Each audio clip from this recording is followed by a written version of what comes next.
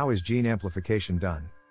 Gene amplification is the process of increasing the number of copies of a particular gene within a genome. There are different methods used for gene amplification, but one of the most common methods is polymerase chain reaction, PCR. PCR is a technique used to amplify a specific DNA sequence in vitro, using a DNA polymerase enzyme, primers, and nucleotides. Here are the basic steps for PCR based gene amplification. Denaturation The DNA sample containing the target gene is heated to separate the double stranded DNA into two single strands. Annealing The sample is cooled to allow short primers, which are complementary to the sequence flanking the target gene, to hybridize to the single stranded DNA. Extension DNA polymerase is added to extend the primers, copying the target gene sequence.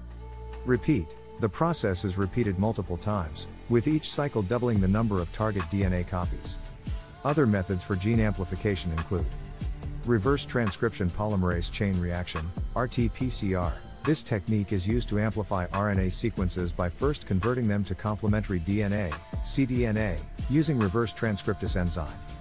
Ligase chain reaction, LCR. This method uses DNA ligase enzyme to join two specific DNA sequences, forming a circular DNA molecule that can be amplified using PCR. Rolling circle amplification, RCA. This technique uses a circular DNA template and a DNA polymerase enzyme with strand displacement activity to generate multiple copies of the circular DNA molecule. These techniques have different advantages and disadvantages, and the choice of method depends on the specific application and the target gene to be amplified. Thanks for watching this video. Remember to like and share our videos, and leave your comments below. We'd love to hear from you.